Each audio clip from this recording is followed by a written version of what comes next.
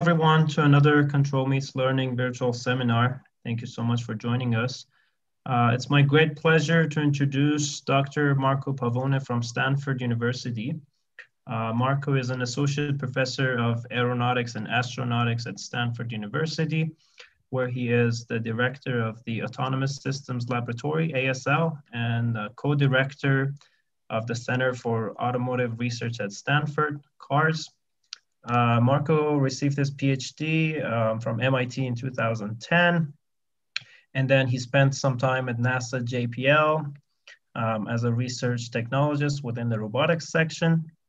Uh, Marco has made uh, fundamental contributions to control theory, robotics, um, and I think his um, main interests are in um, autonomous in, in design and analysis of um, autonomous systems and controlling them with particular emphasis on self-driving cars, um, autonomous aerospace vehicles, and also future mobility systems.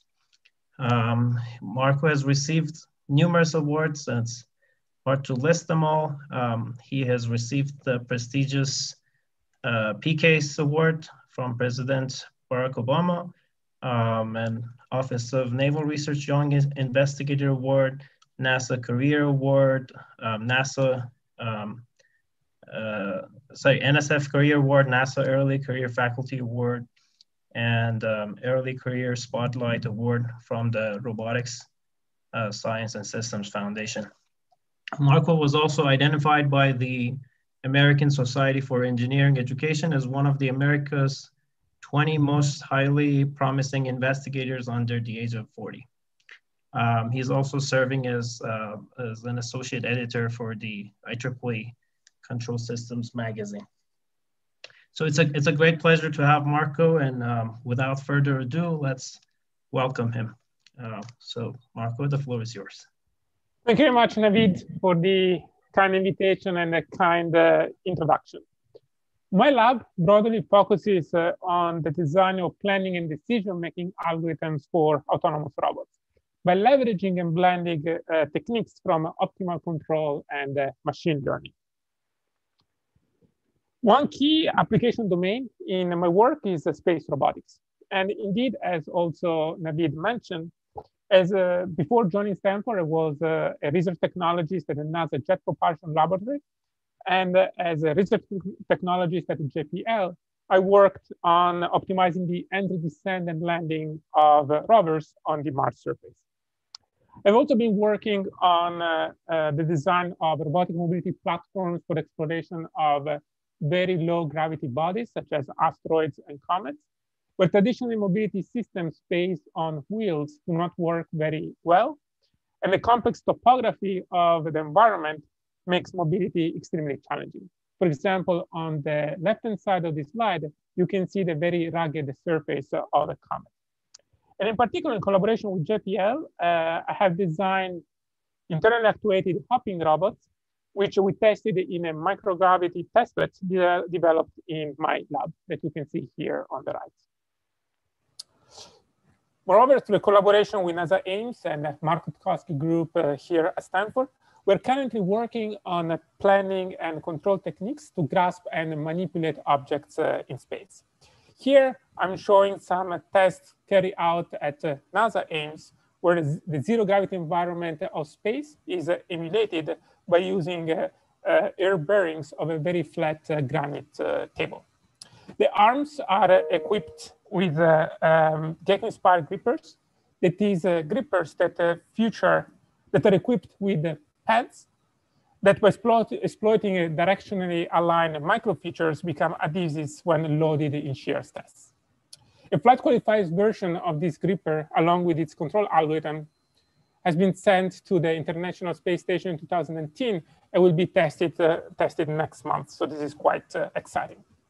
The key point is that in all these applications, increasing the level of autonomy represents a major challenge due in particular to the uncertainty of the environment, coupled with the co complex and often stochastic dynamics of the robots. And in this context, a very promising direction to tackle such a challenge is indeed to carefully blend the techniques from machine learning at optimal control in order to harness the generality of the former and also the sound uh, mathematical guarantees of the latter. And this is a key trust, uh, research trust in my lab. On a different note, safely and efficiently managing human-robot interactions represents another prime example of a setting that necessitates the principal blending of uh, machine learning and optimal control techniques. In fact, modeling human behavior is arguably uh, better addressed via data-driven models. And in turn, given the safety critical nature of uh, human-robot uh, interaction settings, it is usually very helpful to uh, control the robots by infusing uh, techniques from optimal control that boast uh, typically safety guarantees. And indeed, the goal of this talk is to discuss my work, my work on blending machine learning and optimal control in the setting of uh, human-robot interactions by using autonomous driving as an example. Driving indeed entails uh, very complex uh, interactions. For example, here you're seeing a, a case whereby the overall goal of everyone is clear. There are some vehicles that are trying to they're trying to merge into, onto a highway. Other vehicles are trying to go straight, but the outcome of the interaction is highly uncertain and often uh, relies on uh, a complex and sometimes even aggressive uh, negotiation. In other words, and this is a quote that I really like from uh, a Google report interactions are really an exercise in uh, negotiations. And an autonomous robot should be capable of performing such negotiations in order to enable safe and efficient driving, or more broadly, safe and efficient interactions with uh, humans. In other words, uh, autonomous robots should be able to perform what I refer to as interaction-aware decision-making, which entails a proactively interact with other agents to infer their intents while concurrently exploiting this information to take actions that account for agent responses. So what I'm going to discuss today is how we can best merge techniques from machine learning and optimal control to enable interaction-aware decision-making. Let me start with uh, some uh, high-level considerations. The key approach to enable interaction-aware decision-making is model-based, whereby a probabilistic understanding of the interaction dynamics is used as the basis for policy construction.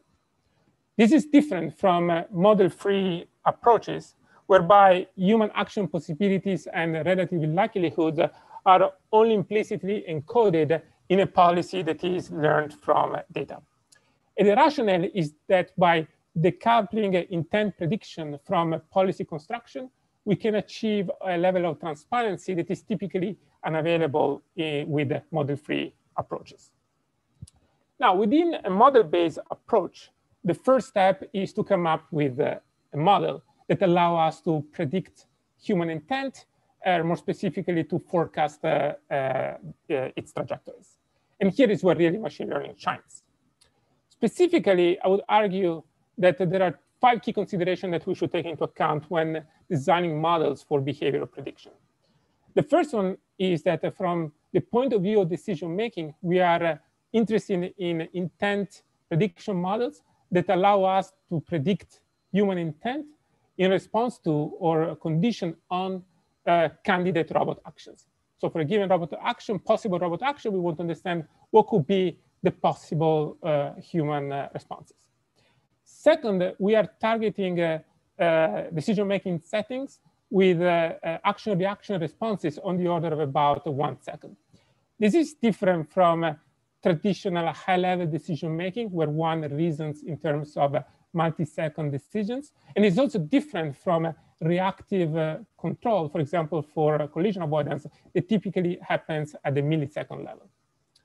Third, at this level of the decision-making hierarchy, uh, uncertainty is typically multimodal, corresponding to drastically, drastically different features for the uh, human agents. For example, on the right-hand side, I'm showing the case of a traffic weaving scenario where a human-operated vehicle depicted in blue is trying to exchange lane with a robot-operated vehicle in white. And so the uh, robot vehicle uh, may ask the following question. If I were to accelerate as depicted by a long white arrow, what could be the possible responses by the human? And here in this example, you see that the human might have two responses. It might accelerate according to the blue arrows, or actually might decelerate according to the yellow arrows. This is what I refer to as a multimodal uncertainty characterization for intent prediction. Fourth, we want to have a model that allow us to take into account history dependencies in order to uncover latent behaviors such as aggressiveness or alertness. And finally, we would like to have a model that is as interpretable as possible to ease the um, debugging process and to increase the confidence we have in this model. Now, um, to infer human intent, typical approaches such as inverse reinforcement learning, which are referred to as ontological or theory of mind, postulate some structure on the human decision-making process. For example, in the form of a cost uh, um, function that we postulate a human is trying to optimize. But this postulated structure is sometimes difficult to reconcile with how humans make their own decisions. For example, human drivers certainly aren't adversarial, nor they are cooperative. And this fuzziness of behavior is typically difficult to reconcile with the theory of mind approach that is ultimately rooted in game theory. So complementarily with this approach, we have investigated whether given enough data, we can reason about uh, relative likelihoods of human actions and uh, responses without making any structural assumptions on how humans make their own uh, reasoning.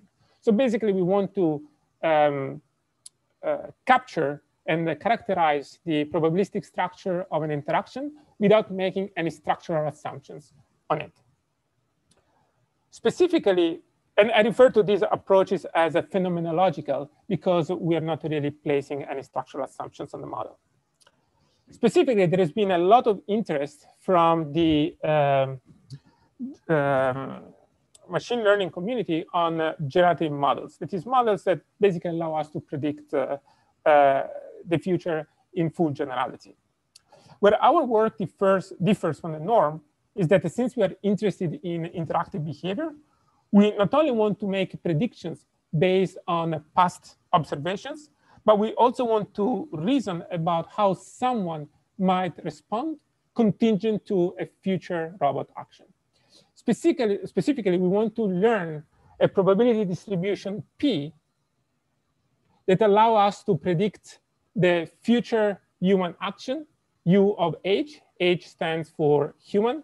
T plus one is the next time step conditional on the history of uh, the interaction in terms of uh, relative uh, states, for example, relative positions, relative speeds depicted by X, and relative controls depicted by U, and crucially, also conditional on a future candidate robot action. U R of T plus one. R, the R subscript stands for robot. So this really encodes the notion that we want also to reason how a human might respond contingent to a candidate robot action UR T plus one. Conditioning on history let us infer uh, latent behavior such as aggressiveness or alertness. And conditioning on the future, that is on the future, uh, on a candidate robot action, allows us to capture the interactive aspects of an interaction. In practice, in order to learn such a probability distribution P, we use a conditional variational, variational autoencoder model. And this is how it works. So here on this plot, I'm showing a prediction in the setting of a pairwise interaction. So we have a robot vehicle and a human operated vehicle. On the x-axis, we have a time. On the y-axis, we have longitudinal acceleration. A solid line means depicts longitudinal acceleration that have happened in the past. Blue refers to the longitudinal acceleration for the robot, and red uh, refers to the longitudinal acceleration for the human-operated vehicle. So that's how we use this model. We ask the following question, is if the robot were to enact an action sequence whereby it first accelerates, then uh, it goes at uh, constant speed, and then decelerates as depicted by the dashed line, what could be the possible responses by the human? That's the sampling from the generative model, the CVAE model. And here we see that we have a bunch of possible predicted responses Most of them would predict that the human operated vehicle would decelerate. So we have a negative uh, longitudinal accelerations, but in few cases we predict it might accelerate. And then we use this as the basis for uh, decision making. Now we have extended this framework um, to ingest as conditioning variables uh, a vast set of heterogeneous data from dynamical information. Clearly, a pedestrian um, moves uh, from a dynamical standpoint in a way that is very much different from a car, all the way to maps encoding information such as road boundaries and crosswalks, all the way to human silhouettes.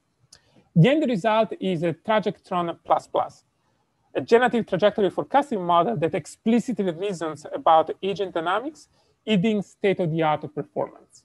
Specifically, we tested the Trajectron++ against a number of deterministic and generative baselines with respect to a number of evaluation metrics. And Trajectron++ achieved, uh, uh, actually significantly outperforms, outperformed the state-of-the-art. All the uh, um, results are provided in a paper we recently published in ECCV in 2020. Importantly, accounting for dynamics and maps for predictions makes uh, a big difference. What I mean by accounting for dynamics is then is that the probability distribution P that I showed before also depends on uh, um, map information, for example, encoded through uh, CNN and through dynamic information about uh, um, the different agents on the road. Specifically, at the top, there is uh, our base model, only taking into account the previous agent trajectory information. The dashed um, uh, white lines with uh, some black dots are the ground truth. And let's focus on the red vehicle on the top left. Here you see that uh, the vehicle actually undershoots the turn and makes uh, overconfident predictions. The overconfident predictions are represented by the ellipses uh, that you see around the predicted trajectory. So as you see, as you see, there is a bit of a divergence between the ground truth, again, the line in white, and the predicted trajectories predicted by the red blobs. At the bottom, uh, our base model is augmented by a dynamics integration scheme and a mapping encoder. In this case, you see that the model is able to correct the prediction to almost like exactly on the ground truth, leveraging the additional information that the high definition maps can provide. All our code, data, and so on is available on our GitHub page. So the key takeaway message here is that uh, um, phenomenological models, and in particular deep generative models, achieve state-of-the-art uh, performance. When we started this research about uh, two, three years ago, this uh, uh, was still um, uh, a bit controversial, but results seem to confirm this claim. Now, so far we have talked about um, how to perform trajectory forecasting. But at the end of the day, we are, at least uh, from my point of view, interested in decision making. So how do we use such a trajectory forecasting model for decision making? Well, we use um, the, um, this model in the following way. What we do is, uh, for, in the case of a car, we look at a bunch of uh, motion primitives for the car. So basically candidate action sequences, combination of accelerate, decelerate, uh, change lane, and so on. And for each one of them, we sample a bunch of uh, human responses by sampling the CVAE model. In actuality, we sample about 100,000 responses per uh, computation, per uh, decision-making cycle. By leveraging GPU, we can do this in, uh, with a frequency of about 3, 4 hertz. So it's actually real-time uh, compatible. What we do then is to score the best action sequence according to uh, an aggregate uh, uh, metric. We drive the first chunk of it, and then we replan in a receding horizon fashion. In our base approach, we look at the average performance. So we look at, for each action sequence, at uh, um, uh, the average uh, performance according to some aggregate cost function we have a, where you have a bunch of penalty terms here depicted by J, the JIs. For example, the fact that uh, you don't want to collide with other vehicles, you want to perform your uh, task, for example, exchanging lane as uh, quick as possible, and so on and so forth. But the point here is that actually we have distribution information. So you might wonder, why don't you also take into account uh, what might happen in the tail? For example, uh, rare cases whereby you might collide with a vehicle. This will lead us to the uh, fascinating topic of risk-sensitive decision-making, whereby you swap the expectation operator with a risk measure. Uh, for example, you could use coherent risk measures such as conditional value at risk or other type of risk assessments. This is a very fascinating topic and also quite complex topic. It is uh, quite difficult to come up with a risk measure that is really interpretable and uh, numerically tractable. Uh, and I won't go into the details in this talk, but I defer you to a paper that I published uh, uh, two, three years ago with a former postdoc of mine, Ani Majumdar, now in faculty at Princeton, which is basically a position paper about how we view uh, uh, risk assessment in the context of robotics. But for, for the rest of this talk, we're going to focus on uh, average, that is expected performance according to the expected operator. Now, how does all of this work uh, at recent simulations? Uh, to test all this framework in simulations of both trajectory forecasting and decision making, uh, we consider again a traffic weaving scenario where there is a human operated vehicle and a robotic vehicle that try to exchange, uh, to swap lane before the uh, road forks. And we perform uh, human in the loop simulations by using the VIRES VTD simulator. So basically the human operated vehicle is operated by um, a student of mine, a human, while the robot, uh, robotic vehicle is actually controlled by the algorithms that I have discussed. So uh, as I said, the task is to swap lane before the road forks. On the left-hand side, uh, uh I'm going to show predicted human responses in terms of longitudinal velocity and longitudinal acceleration for a candidate uh, uh, future robot trajectory. And here you can see that actually some, uh, the interaction looks quite uh, uh, natural. The white vehicle, again, is the robotic vehicle. And you see that there are some interesting behaviors that uh, emerge. For example, in this case, the white vehicle nudges a little bit on the other lane to probe the reaction of the human, and the human in this case is uh, kind enough to decelerate, and so the human uh, swaps lane in front of the, so the robotic vehicle um, uh, cuts in front of the uh, human-operated vehicle. So this is all good and nice until disaster happens. So for example, this is a case whereby the human, the blue vehicle, operates in a way that defies the um, robotic, uh, uh, the, the, robot expectations of what basically the CBA, CVA model was uh, predicting. And there is a collision.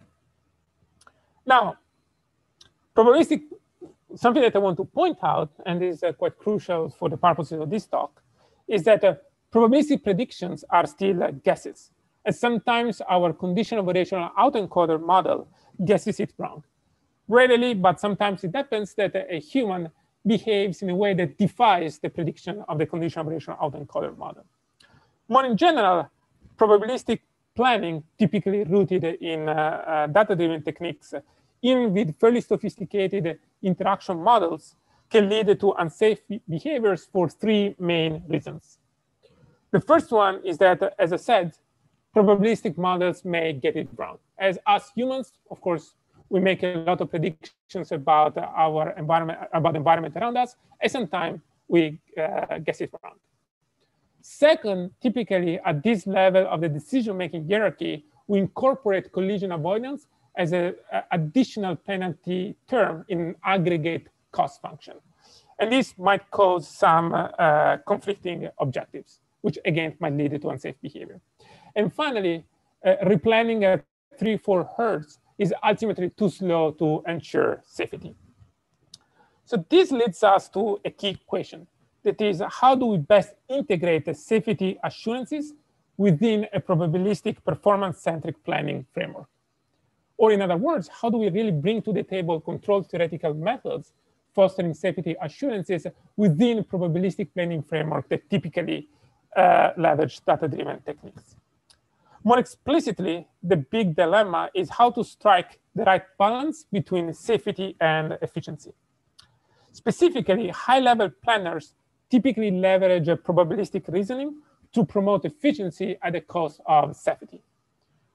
In contrast, low-level planners typically leverage worst-case reasoning to promote safety at the cost of efficiency. Of course, we would like to be at the yellow star that is, we want to be maximally safe and maximally efficient. But in reality, uh, what you can achieve, arguably, is to find a good trade-off between the safety of a stay, uh, well, of low-level planners and uh, the efficiency of a high-level planner. So not sure you like to be somewhere in the green blob with a question mark. So how do we do that? Well, here the key challenge is, is how to glue the safety, safety controller, typically based on optimal control methods, with the higher level probabilistic planner, typically based on machine learning techniques such as our Trajectron++ model, in a way that does not unduly impact performance. And in fact, I would argue that in the academic literature, such an interaction among different layers of the uh, autonomy stack is often uh, overlooked. So let's design, let's talk first about the design of the safety controller, and then we'll see how the different layers of the decision-making stack can be glued in, a, in an effective way. Specifically, there are several approaches to promote safety, uh, like, for example, uh, by using potential fields, uh, constraint optimization, library of emergent, uh, emergency maneuvers, and so on and so forth. These techniques, however, do not account for uh, uh, interactions with a sentient uh, agent. Thus, they're difficult to glue with the decision-making plan, with the decision-making module that strives to promote efficiency through smooth negotiations. In our work, to account for interactions also at the control level, we harness the tools of Hamilton-Jacobi uh, reachability. Now, reachability is often interpreted in, in a forward open loop uh, uh, sense, where human where human dynamics are propagated forward in time, and the resulting set, the forward reachable set, is treated as an obstacle. This unfortunately leads to a very uh, conservative characterization of what a human might do, and typically it's not very useful for planning purposes. Basically, it would cause the robotic vehicle to be uh, uh, I mean, stopped or going slowly every time. In our work, instead, we focus on backward uh, reachability, where the joint dynamics are propagated backward in time, accounting for the closed loop interaction between the human-operated vehicle and the robotic vehicle.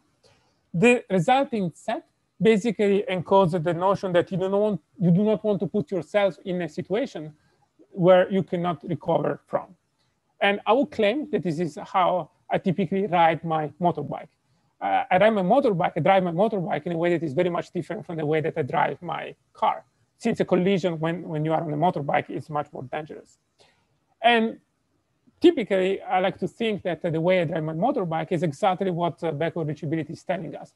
You don't want to be boxed in. You don't want to be in a situation where if someone else has to act erratically, you have no way to get out of trouble. Explicitly, a backward reachable set, so this notion of uh, uh, situations where you don't want to be boxed in, is defined as a set of avoid states for which there exist strategies for the human that for all inputs of the robot will lead to collisions. These sets can be computed by solving the Hamilton-Jacobi Isaacs partial differential equations, whose solution, V, referred to as the value function, give the backward reachable set as uh, its a zero sublevel set. Computing uh, the backward reachable set is hard, but fortunately, it can be done offline. The optimal avoidance um, uh, robot avoidance and control is then the control UR that offers the greatest increase in the value function V, assuming worst case reactions from the human. Here, the control of the human, as usual in our notation, is uh, uh, UR.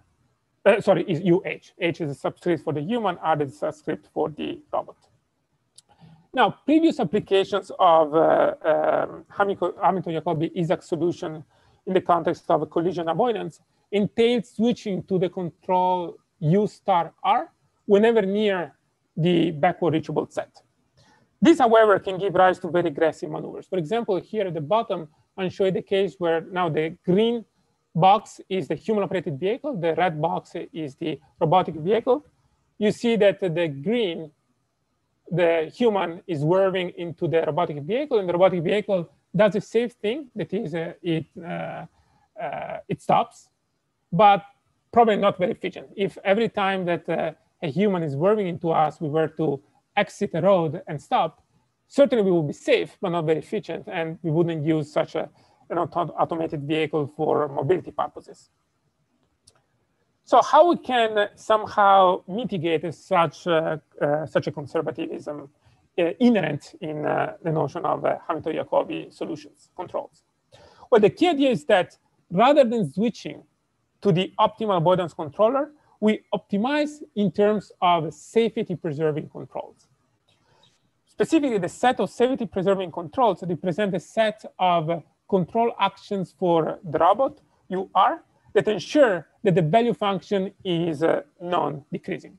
That is, is in UR, in, in the set capital UR, we have controls that not, necessarily leads us to the greatest increase of the value function, but this ensure that uh, the value function is not decreasing. Now, this set in general leads to complex, non-convex um, optimization problems.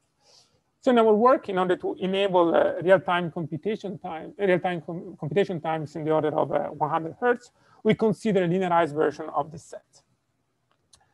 Then the low-level controller uh, entails solving model predictive control optimization problem, which is quite standard in that we penalize tracking error with respect to a desired trajectory computed in our context by a probabilistic planner that uses data-driven techniques, subject to um, dynamical, well, linearized dynamical constraints, stable handling envelope constraints, control constraints, and so on. So all of this is standard, but with a crucial addition of an instantaneous interaction safety constraint whenever near the backward reachable set that enforces safety uh, through the lens of a Hamilton-Jacobi reachability. That is, whenever we are close to the backward reachable set, we uh, only reason about the controls that are safety preserving. That is, they, have the property that the value function is non-decreasing. The overall problem is a quadratic problem that uh, we solve at about 100 hertz by using the operator splitting method for the solution to quadratic problems. So putting everything together, the full uh, decision-making control stack uh, looks as follows. On the left-hand side, we have a high-level machine learning-based interaction planner producing nominal trajectories through a generative model of a human intent, for example, a CVAE model. On the right-hand side, we have a reachability cache based on optimal control techniques that encodes the notion of uh, relative states that are unsafe. That is, that might lead to collision despite our best effort. And then we have a low-level safe tracking controller uh, uh, in the middle that uh, executes controls that minimally deviate from the planner's choice if the vehicle approach the set of unsafe states. So this is basically how we bring together uh, learning and control, at least in the setting of uh, in uh, uh, interaction-aware decision-making. And here, the, the, crucial aspect is that we reason about uh, interactions at all levels of the decision-making hierarchy. Probabilistically, in the case of interaction planner, worst case in the case of reachability computation, and then we blend the two through the MPC controller that I just proposed. Now, even though this framework has been presented only in the case of pairwise uh, interactions, actually we generalize this framework also to the case of uh, um, interactions with the multiple agents. How does this work? Well, we tested the full decision-making control stack on an experimental vehicle that uh, we have at CARS, uh, the Center for Automotive Research at Stanford. So the vehicle is a full drive-by-wire vehicle that you see here. And we have implemented the, the full stack. So the perception algorithms, uh, the intent prediction algorithm, the decision-making algorithms, reachability computation, low-level, the low-level MPC controller, and so on. The task again, and this is like a motivating example throughout the talk, is to uh, um, is a task of traffic weaving. So the robotic vehicle has to exchange lane with a human operating vehicle, uh, human operated vehicle. Here, for safety reason for the tests, uh, we, uh, the human operated vehicle is emulated by an RC car, the very small vehicle that you see with a white mast. So this vehicle is operated remotely by um, a student. And then we ask the students to abuse of the algorithms. That is to operate nominally for a few seconds and then do something crazy, basically swerve into the vehicle to see how the robotic vehicle behaves. So here you see in this example that at the beginning, as we will see in a second, the human operated vehicle, so the RC car is uh, operating correctly, is going straight, but then all of a sudden swerves into the um, robotic vehicle. And the robotic vehicle recovers from this uh, unexpected maneuver in a fairly natural way. So it minimally deviates from its desired trajectory by going just a tiny bit uh, outside of the road, but without stopping and always maintaining, uh, at least in this case, uh, safety uh, at all times. An interesting aspect here is that since reachability computation are hard, uh, we try to come up with models that are as minimalistic as possible. For example, for the uh, autonomous car, we consider a single track six dimensional model. For the uh, human vehicle, the RC car, we consider dynamically extended uh, Dubins model. And so the, um, but in order to save, to make the model as small as possible, we did not account initially for the um, dynamics of the front tire. So basically how long it takes to go from full left to full right. Actually, that gave an advantage to the human operated, uh, to the robotic vehicle that robotic vehicle did not have, which led to collisions in experiments. So we went back to our computation by adding a new state to model the um, steering of the front vehicles. And then we saw that actually our algorithms were behaving as uh, expected. So the, the point here is that uh, actually uh, especially when you deal with the data-driven models and a complicated system, testing on the road on the physical system re is really important and also teaches you a lot of lessons. Anyway, let's get back to our notional plot of safety versus efficiency trade-off and see how we are doing. So on the left-hand side, we have the notional plot. On the right-hand side, we have real data from our experiments. On um, the yellow dots corresponds to a controller that uh, only enforce safety through uh, the um, uh, Hamilton-Jacobi uh, reachability computation, but we do not reason probabilistically. The red dots correspond to the setting whereby we uh, only reason probabilistic, probabilistically, that is, we do not add the HJI uh, constraints. And the, in the former case, so in the case where we are adversarial, as you would expect, we are typically very safe, but sometimes not very efficient. That is, we might stop. In the, the case where we tend to reason only probabilistically, we have typically high efficiency in terms, for example, of how quickly we perform the maneuver, but sometimes we might have collision. The green dots are basically the um, results from uh, the experiments where we consider the MPC control framework that merges uh, probabilistic predictions with uh, the Hamilton-Jacobi reachability constraint. And here you see that actually we reach a very nice trade-off between uh, the two competing methods. Now, related to the idea of uh, infusing safety assurances with these, within those components of the autonomy stack that rely on uh, data-driven techniques, I have recently kick, kicked off a very large center sponsored by NASA on safe AI for aviation autonomy, where we're focusing on uh, three main research trusts online assurances through robust and more structured learning. Uh, so, sorry, offline assurances through more robust and structured learning. Online assurances through runtime monitors and recovery methods, in part inspired by the work that I have presented, and airspace control techniques for the setting where some of the aircraft are autonomous. So the bottom line of uh, uh, the second part of the talk is that a safe and efficient interaction where decision-making requires a principled blending of a probabilistic and adversarial planning. In our context, through the lens of an MPC controller that blends the two main modules. Now, I'd like to conclude the talk by giving you uh, an uh, overview of some current research directions I have in my lab on this topic. Specifically, I'm going to discuss uh, uh relatively quickly about representations of forecasted trajectories that are more conducive to um, uh, um, uh, downstream robotics tasks and real-time control. Then I'm going to discuss uh, how to account for uncertainty sources that stem from upstream perception modules. And finally, I'm going to uh, talk a little bit about how to add logical structure to our predictions in order to condition, for example, on logical information such as uh, rules of the road.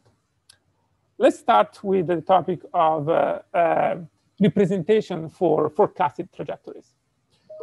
Now, typically, all, most of the methods in uh, uh, trajectory forecasting uh, predict individual trajectories, that is, tracklets, as, as their output. A tracklet is basically a sequence of waypoints. This is a very natural output structure uh, to provide.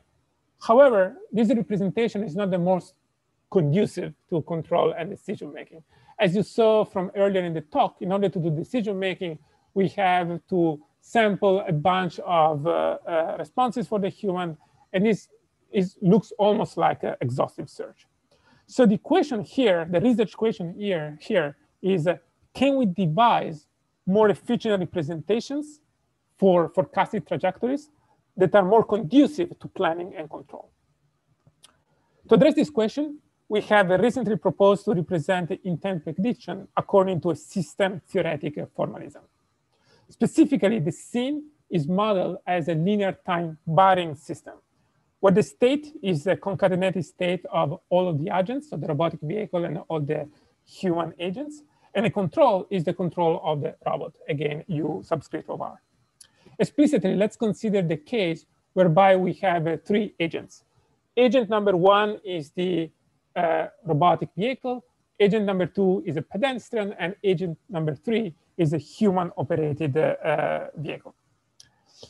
Um, what we want to do is to learn the green components of the system matrices, namely A, B, C, and D. Specifically, in the case of the state matrix A, you see that is a, a three by three block matrix, three by three because we have three agents. The green elements represent the agent-to-agent interactions that we want to learn from data. The blue blocks are basically the blocks that represent the dynamics of the agents that we assume we do know. For example, we can safely assume that uh, we do know the dynamics of uh, an autonomous car. We have one control, UR, that is the control of the robot. So here the point is that what we want to learn are the green components in the, um, uh, of the system matrices. And as a result, the conditional variational autoencoder model now produces uh, uh, as an output a mixture, mixture of linear time varying uh, models, where each component linear time varying system corresponds to a different latent behavior. We have shown that with this more structured representation for the output of the conditional variational autoencoder model, we have a very slight decrease in terms of prediction accuracy, but we have big gains in terms of uh, uh, performance of the overall, overall closed loop system. Because now we can feed the decision-making control module with a representation, basically in terms of linear time varying uh, systems, that is very well attuned to control, for example, through your model predict control uh, um, scheme of your choice. So this is an interesting example, I believe, of how a more structured representation of your output that is cognizant of the downstream control task leads to almost equivalent performance, but with enormous gains in terms of computational efficiency.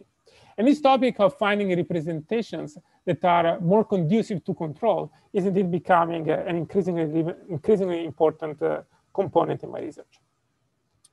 Specularly, we have been working on how to account for uh, uh, uncertainty that uh, stems from upstream perception models in two complementary ways. we are looking at, at how to propagate perceptual uncertainty through trajectory forecasting. For example, uh, in the image on the left, you can see that each object has an associated classification score. So the goal is to propagate this information throughout the trajectory forecasting task to account for these uncertainties stemming from the perception model. And complementarily, perception sometimes can be noisy. For example, here you can see that for some objects, objects we have uh, uh, high frequency class switches. So the research question is, how do we handle trajectory forecasting in a way that is uh, robust to this uh, uh, noise? And finally, we have also worked on how to add logical structure into our predictions. For example, to account for rules of the road and thereby increase the amount of information we can condition uh, our predictions over. Specifically, we have developed uh, a framework referred to as STLCG that expresses the signal temporal logic of formulas within the same computational graph paradigm used for deep learning. And we plan to exploit these results in a number of ways, in particular by jointly optimizing both prediction performance and robustness with respect to a desired um, signal temporal logic specification, uh, thereby embedding a logical structure into an otherwise uninterpretable model. And two, by verifying the logical properties of the model and detecting anomalies after uh, training. So I think it's a very interesting way of blending symbolic techniques with uh, uh, neural network techniques for the purposes of decision making.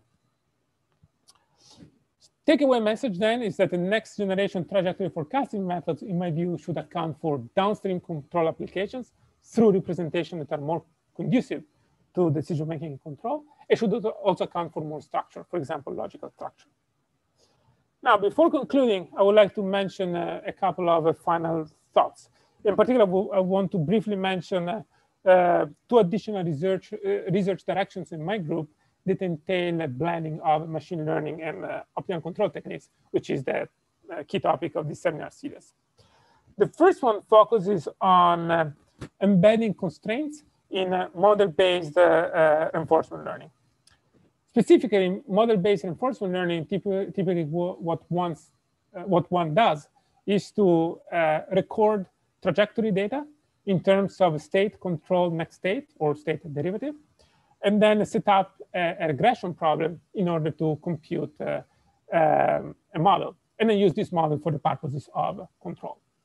But critically, uh, in this procedure, there is nothing uh, in the algorithm that tells us that the model that we get is uh, particularly useful for the purposes of control. For example, allows us to generate trajectories that can be robustly tracked.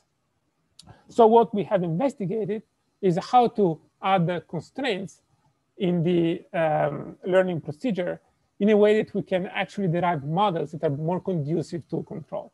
For example, uh, here I'm showing a setting that we have recently explored in a paper published by IJRR uh, 2020, how to add to um, the procedure a stabilizability constraint, basically a constraint that ensures that the model that we derive admits uh, a robust tracking controller for any open loop trajectory that is generated through this model.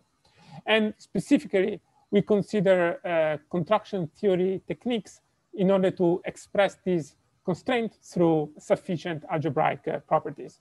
And I believe that uh, Professor Jean-Jacques Le mentioned this work as well during a talk he gave uh, in, the same, uh, this same seminar series uh, a few months ago. Another approach, actually another research directions is represented by what I refer to as meta-adaptive uh, control.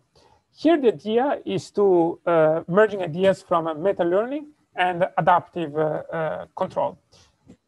Specifically in adaptive control, typically we have parts of the dynamics that we do not know but we assume they admit uh, uh, um, a featurized representation. For example, in this case, F would be the part of the dynamics that uh, are, is not known.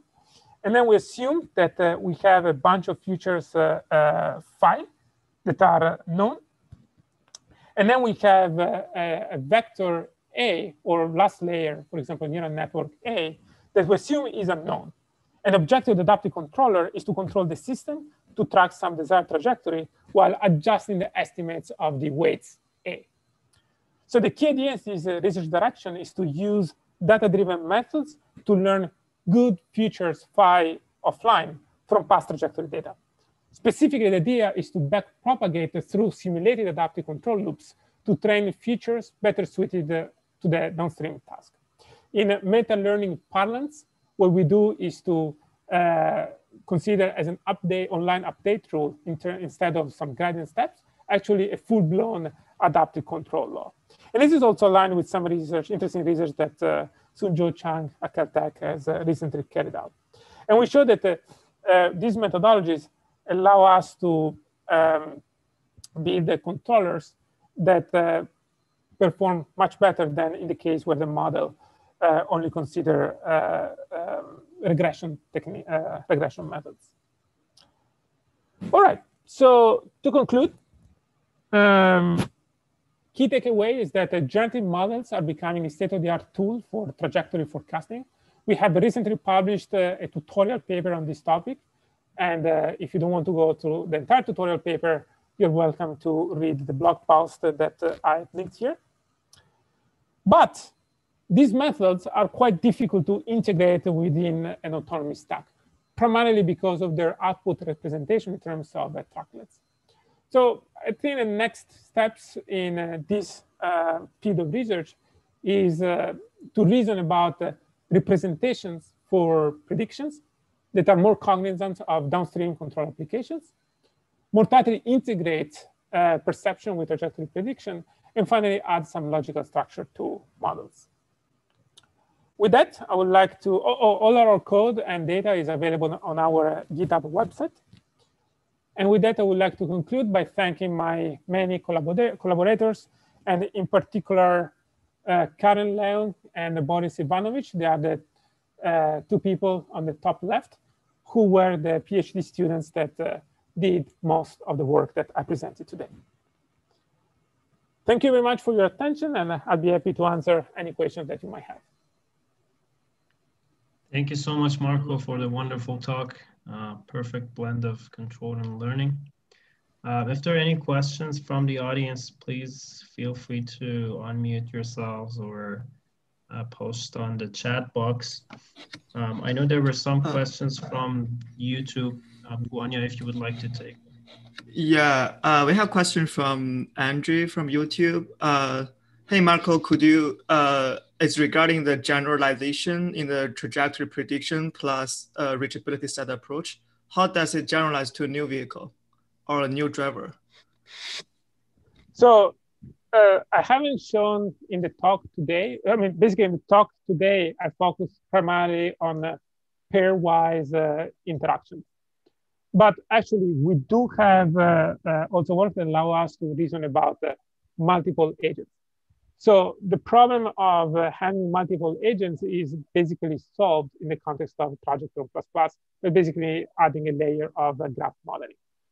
But what the, the question is pointing at, and I think is a very interesting point, is that uh, when we train the model, we train the model from a human behavior, say, in a given city. But the um, way people drive and behave is uh, very local, meaning that it changes substantially from environment to environment. I typically like to make the example of how people drive in Italy. I'm from Italy.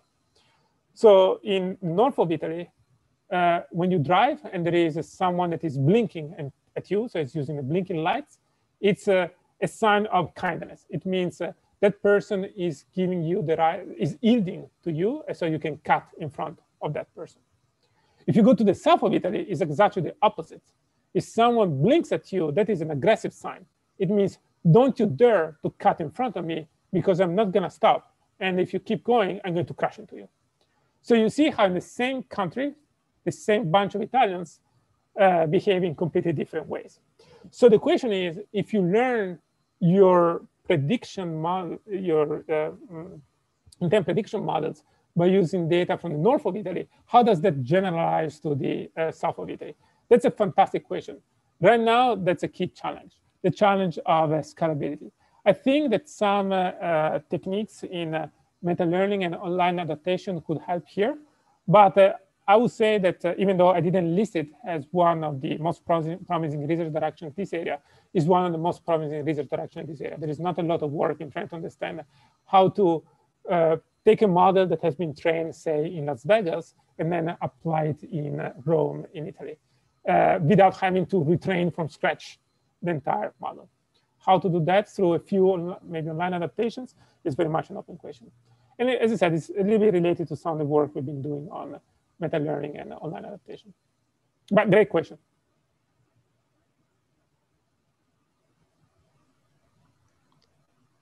There is also a question, I think, on the chat um, from Non-Lee. They say, I would like to know when using an MPC controller, as mentioned in the first part of the talk, what is the criteria to decide the length of prediction horizon? Yeah, I mean, it's a, uh, that uh, I don't think I have a very good uh, theoretical answer to that. Is as usual in uh, MPC, particularly for this complicated context, um, a compromise between uh, um, computational performance and uh, um, validity of your models, meaning that uh, the models I have discussed here are models really designed for decision making. So they give you uh, relatively good predictions for the next uh, two to three seconds. So that's more or less the time scale that uh, we look at. And that tends to be also re, re, um, an horizon that we can deal with from a computational standpoint. But the question here is really more, uh, the answer here is really more based on experience and uh, um, trials in the field as opposed to really stemming from uh, first uh, principles.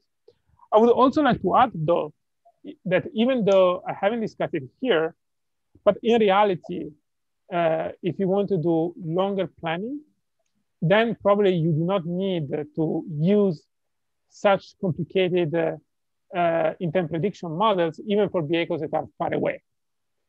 So actually you can consider a, cas a, a models, whereby for those that are relatively close to you, close in a dynamical sense, in terms of uh, how long it takes in, in principle to crash with that vehicle. So for those, then you can use generative models. But for those that are farther away, you can just use a very simple models such as forward dynamic pro pro propagation and so on and so forth. Um, and this for in this setting, then you can consider longer time horizons while still retaining computational tractability because you reason for those vehicles that are far away with the simpler models. But in reality, uh, this is a great question. And uh, right now, our solution is mostly uh, based on experience. Great, thank you. Um, if there are any other quick uh, questions, yeah. maybe. Uh, actually, I have a question, Marco. I think the trade-off between uh, efficiency and safety is really interesting. Uh, and I, ha I, have a question regarding uh, theoretical analysis. Actually, it's a question bothering uh, have uh, is and and and uh, I've been thinking for a long time. Like when, when we make theoretical analysis, usually we have to make some pessimistic assumption and deal with the worst case scenario. For example, in robust MPC, robust control.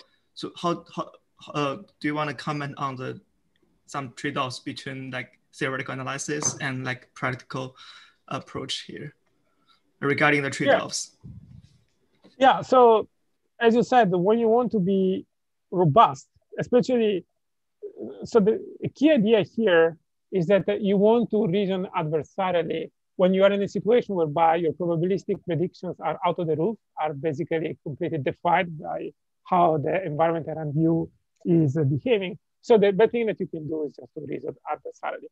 But that introduces an element of the conservatism. So the entire point of this MPC approach was to try to put the uh, adversarial approach and the probabilistic approach on the same footing by blending them in the MPC optimization. And so basically, in order to make sure that the MPC optimization problem is always feasible so that uh, we don't run into a situation whereby we don't have a solution, we add the slack variables to each one of the constraints, and then we penalize the slack variables in the, um, in the objective function. Now, that said, I just want to make it clear that when we talk about safety guarantees, we really talk about assurance guarantees. In my mind, there is, there is no theoretical proof that can tell you that uh, an autonomous system is going to be safe under all possible conditions. That is a bit of a misconception. What you want to do is to use these uh, theoretical guarantees and more principled methods in order to better inform the design. So for example, even in classical control, when uh, you consider phase and gain margins in order to come up with a good design for your controller, that shouldn't be considered as an absolute proof of safety. Obviously, if your airplane is flying in a steady uh, level flight and an asteroid uh, hits the airplane, you can have as much phase margin as you want, but the airplane is going to crash. It's really should really be interpreted as a reinterpreted as a tool to inform better design and provide assurances that uh, your system is going to work uh, typically well. So a long answer to say a couple of things. Blending adversarial and probabilistic planning is uh, tricky. And uh, in order to do it well, you really, really have to go down to the specific of a problem setting. That's why in this talk, I decided to focus on uh, interaction over decision making. In another setting, you could do it in a different way. And two, I claim that uh, theoretical methods, particularly control theoretical method, should be considered more as a tool to better inform design, as opposed to something that we want to harness to have globally safety properties that, in my mind, are unattainable. Thanks. I, I totally agree. Hi, I have a question. Um, uh, you, uh, you said we use a linear model to uh, to model the uh, car, but uh, as far as I know, the uh, car is a, non-holonomic mechanical system and its linearization it's uh, not uh, controllable. I was, if you yeah, so yeah, so we we use um, um, a linearized. So as you said, we use a linearized model of a single track uh, model for a car which is fairly standard in, uh, in, in, this field. And then uh, remember that uh, we use this model for trajectory tracking purposes in a receding horizon setting. So basically we just do a control and then uh, we reobserve the environment and then we reoptimize our decisions. So in this regard, this is fairly standard. As I said, this MPC optimization problem is quite standard. I would claim that also a, a lot of companies are using this MPC control scheme the innovation here is to um, the innovation here is to add uh, these uh, uh, instantaneous interaction safety constraints. But everything else is standard well understood in the literature. Right. Thank you. Sure. Okay, we are a bit over time. Um, if there is a quick question, maybe we can take that. Otherwise, well, and if you have more questions, feel free to email me and I'll be happy to reply to yes. your questions.